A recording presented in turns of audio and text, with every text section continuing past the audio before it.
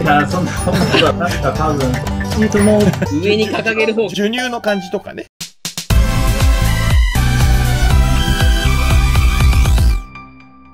月間 MVP10 月でございまございますすということで、お願いします本日はこの方になんと来ていただきました。自己紹介お願いします。FC 相模原背番号5番、梅井大輝です。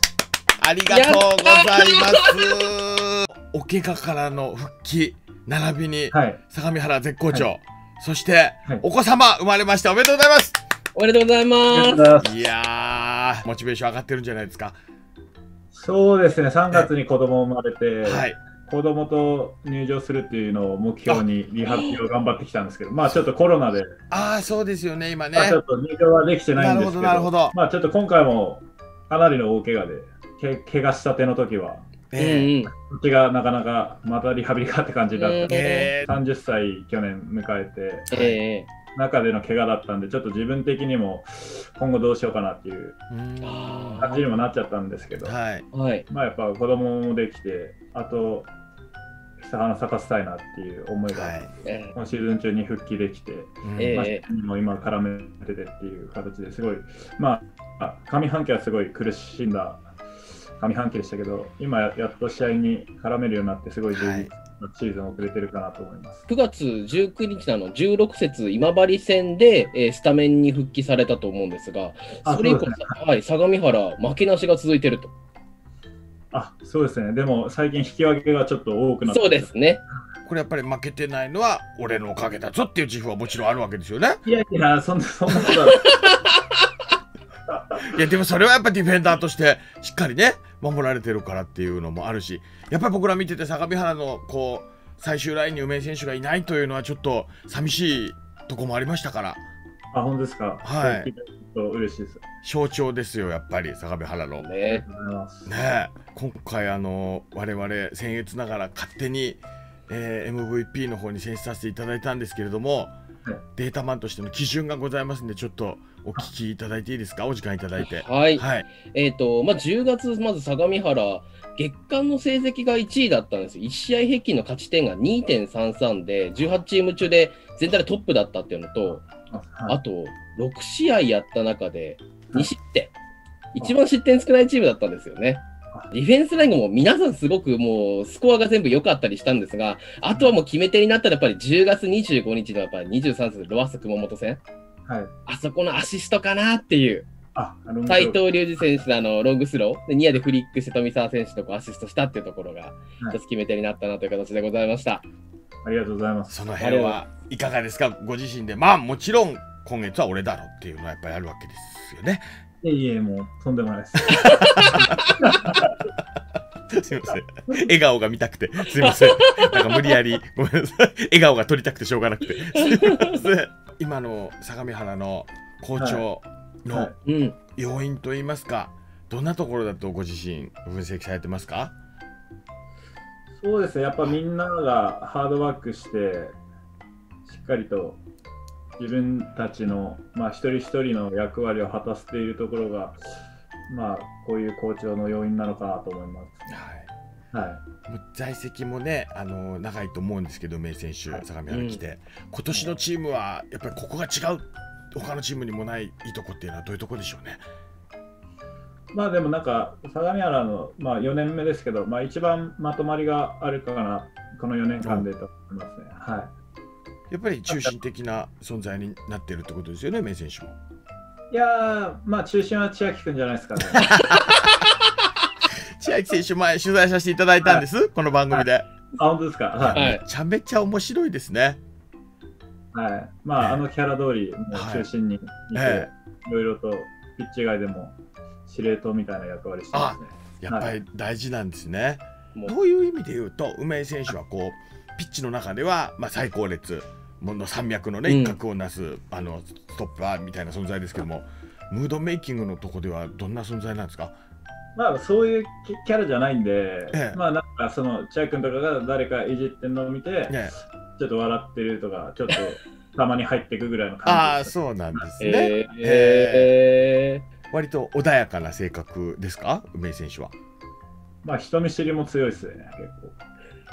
今って人見知りされてます？よいや、もう大丈夫です。あ かったやっぱりでもあのね身長の高さで守備攻撃はもちろんロングスローもブンブン投げてますもんね。そうですね、はい。ね。去年とか特に結構、あのジョン・ガブリエルとかもいたんで、はい。いやー、そう僕だが投げて、あいつが競ってとかそうですよね。はい。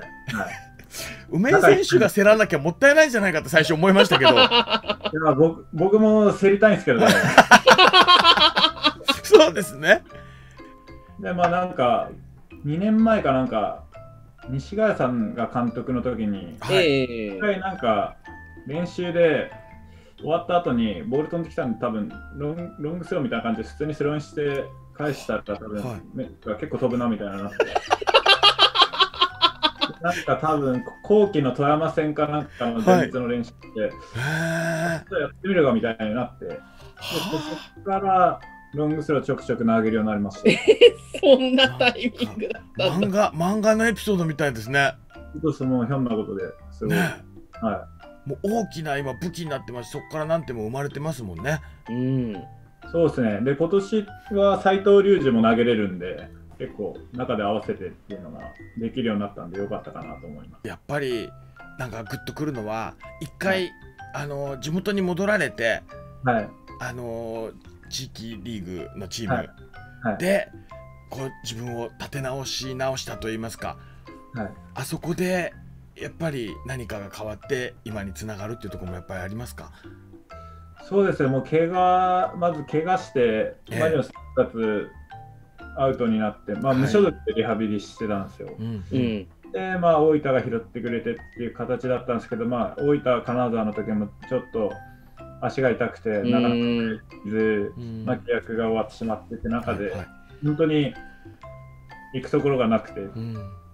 でも、まあ、地元に帰って、まあ、アマチュア、最初もアマチュア選手としても働きながら、はい。まあ、サッカーをまたやり始めたんですけど、うんうん。まあ、そのサルコス時代、まあ、3年間いたんですけど、その中で、まあ、2年目ぐらいからやっと足の状態も良くなってきて、うん。うんまあ、うん。一回上目指したいなっていう気持ちになって、まあ、やっぱり J リーグと比べたら、まあ、環境もはい。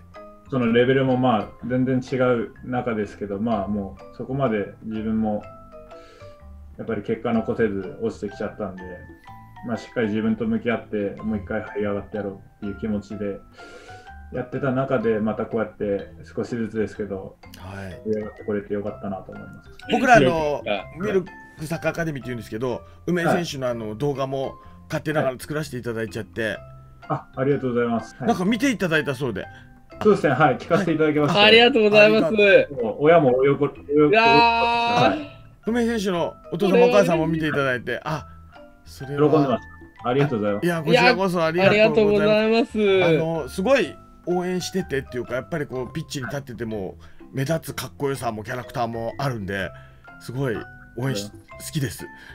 告白みたいになってるけど。相模原ですけどな今年はすごい勝負強いと言いますか接戦を落とさない感覚があるんですけどその辺どうですか？そうですね、でもやっぱ一番の要因は、まあ、ライセンスが取れたことじゃないかあはい。ー、なるほどね。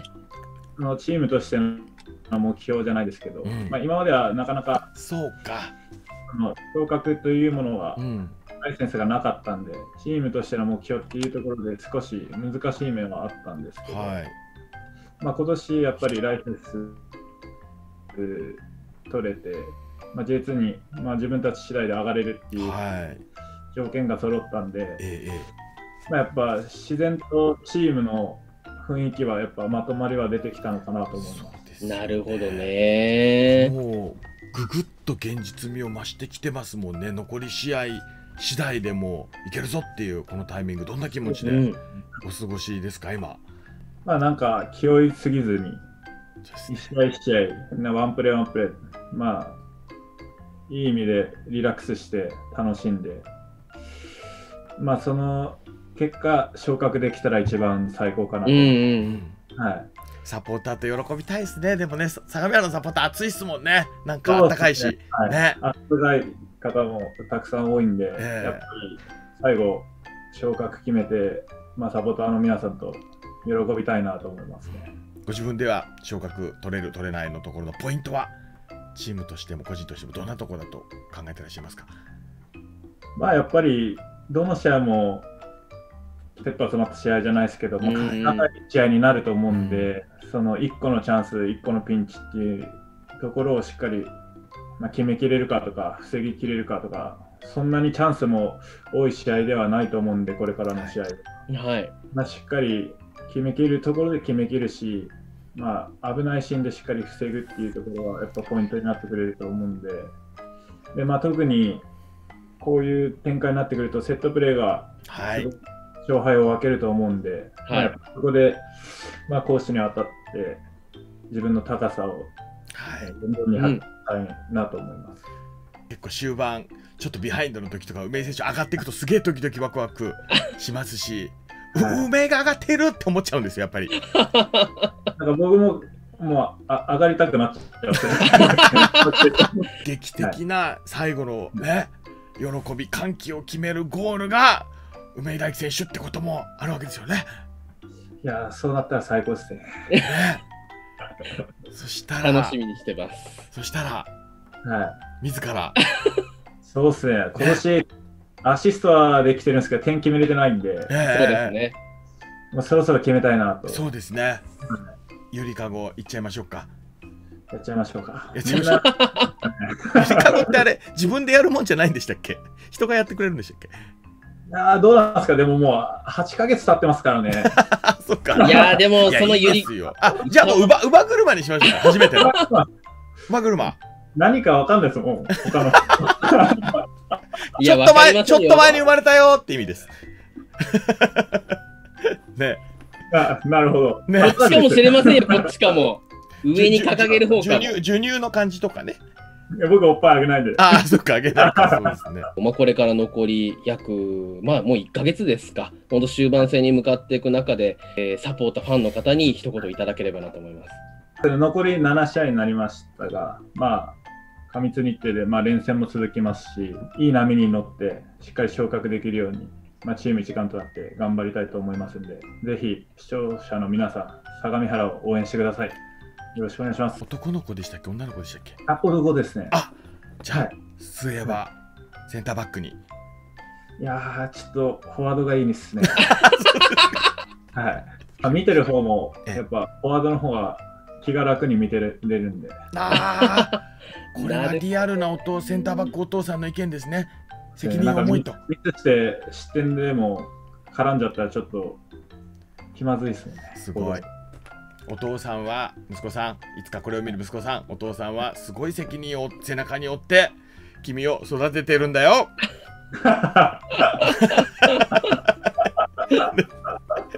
梅選手も息子さんに言っといた方がいいんですか？あの分かる年齢になった時の息子さんにメッセージ最後にじゃあお願いします。どうぞ。もっと頑張れよって。あ息子さんに？はい。あ分かりましたマチックなシーンが来ることを祈っておりますんで。また、そしたら取り上げてください。ねぜひ。はい。ありがとうございます。梅選手、また出演してくれるかな、いいと思う。SC 相模原梅井大輝選手に来ていただきました。頑張ってください。ありがとうございました。ありがとうございました。